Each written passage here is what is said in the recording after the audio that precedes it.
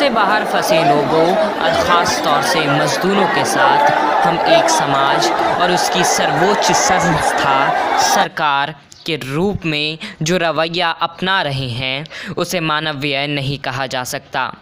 ये कैसी त्रासदी है कि हम एक दो महीने भी अपना बोझ नहीं उठा सकते।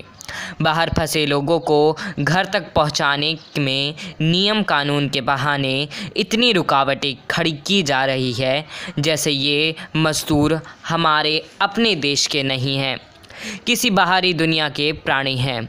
देश भर में फंसे बिहार के लोगों को भी घर लाने के मामले में सियासत हो रही है। इस पर जीतन राम मांझी ने कड़ी प्रतिक्रिया दी है। उन्होंने क्या कुछ कहा, आइए देखते हैं। राज्य के मजदूर लोग और छात्र छात्राएँ जो बाहर रह रहे हैं, उनको लाने के लिए सदा हम निवेदन करते रहे हैं।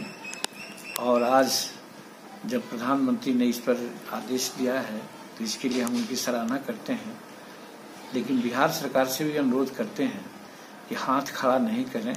अपने सीमित संसाधन या जो भी संसाधन हो उससे बच्चों को ले आए राज्य में और मजदूर को भी ले आए।